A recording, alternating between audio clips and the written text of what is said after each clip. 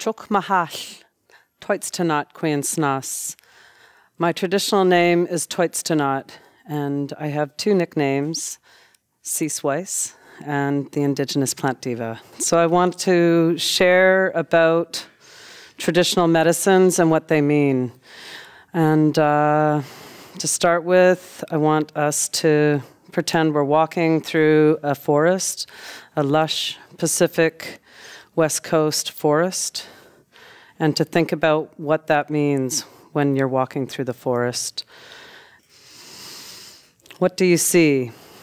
What do you see when you're out there? You see lush coniferous trees uh, filled with lichens and mosses and ferns.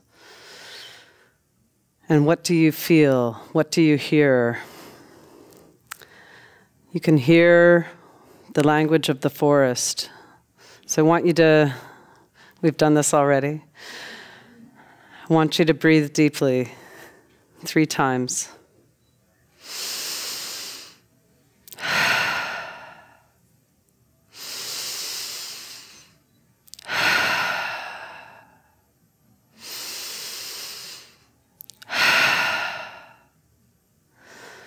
When you're in the forest and you do that, the moist air goes into your lungs, filling up your respiratory tract, reaching into your body, oxygenating, helping you to feel the medicines that surround you the lichens, the ferns, the mosses, mycology.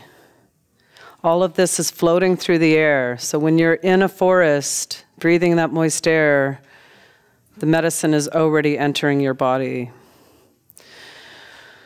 When we think about what we hear, we hear the language of the plants, the doctrine of signatures, a plant's likeness to our body in colors, shapes, and textures.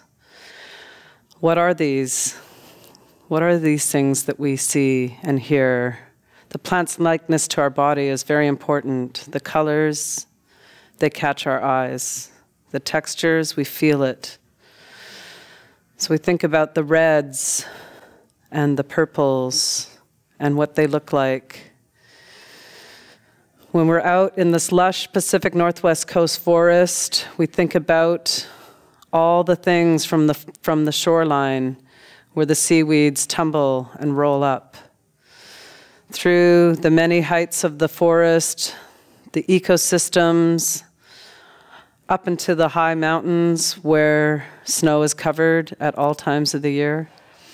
We think about the medicine cabinet that is before us, what is out there to fill our minds, our bodies, and our spirits, and to feed the wellness that we seek. When we look into the forest, we, we are seeking things we have on our mind, but things can come to us we don't expect. And on that level, why are we picking it? To make teas, teas that we'll drink, that will infuse into our bodies, tinctures. We can make tinctures that carry the medicines with us wherever we go. We can do that with salves and other herbal concoctions and infusions. It's a veritable medicine cabinet in the forest and we think about the specific plants we're seeking, what is out there to gather into our personal medicine toolkit. Lichens and mosses, ferns, all of these things I've talked about. The red, the purple, berries, those feed our blood, our muscles, and our organs. We think about how they are filled with the nutrients like iron and iron supplementation. The berries emanate our blood, and so we're drawn to that to cleanse our blood.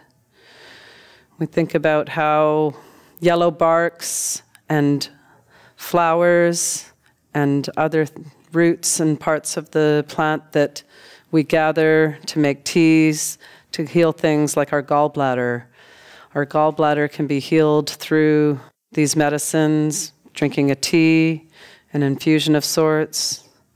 Arnica, how it has the ability to be rubbed onto our hands and our body parts to soothe sore muscles, tendons, and rubbing that in reaches in below the surface, feeds its way into our muscles and joints and tendons on a level we can't see but we can feel. This is the language of the plants. They carry the medicines we seek to heal ourselves. It's all before us. Other shapes and textures we see on the landscape come from other plants. It could come in the form of uh, plants that help our skin and help our joints and other parts that we don't always think of. So, raspberry leaf, salmonberry leaf, blackberry leaf all have the ability to deal with parts of our bodies, like in a woman, our reproductive organs. Looking at the leaves of salmonberry, we see uterine muscles, fallopian tubes, ovaries, and all of those heal. We think about how plants with sharp edges work below our waistline and how salmonberry, as well as dandelion leaf and roots, have the ability to go in and, and heal parts of our body we don't normally think of, of using those for. Plants with textures like mullein.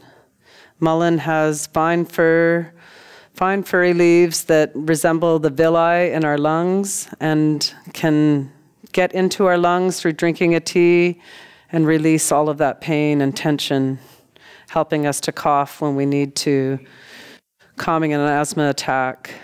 All of these things come into play when we're drinking teas or using these medicines in ways that work for us. We look at stinging nettles, how rubbing stinging nettle onto our hands, if they're swollen from arthritis, can totally release toxins. I know this from personal experience, having rubbed stinging nettle on myself several times and had people saying, Don't do it. I'm like, Of course I'll do it. I don't want to carry that pain with me. I don't want to give that to the next generation. So I release it. I take that step. I'm brave. I, I encourage others to try it. The natural forest is there as a medicine cabinet for us, as I said. The fungi that grow on the trees, through the mosses. They live a symbiotic life. They share that energy, that knowledge. They take us to another place within ourselves. Even being in the forest, sitting on the floor of the forest in moss, walking through the forest paths, sitting in a creek or wading through a creek. All of those things connect us to that natural world that we take for granted we don't, uh, we don't respect it enough. We have to have respect for the next generations, the indigenous foods, the wild foods, the things that our ancestors used for many years before us. And I know that's not just from my perspective as an indigenous person. I know that we all have stories that lead us back to our grandfathers, our grandmothers, and remind us how at one time we lived in a better way passing that knowledge on, teaching our next generation how to read the forest, how to glean that information in a way that propels them forward and saves the planet along the way.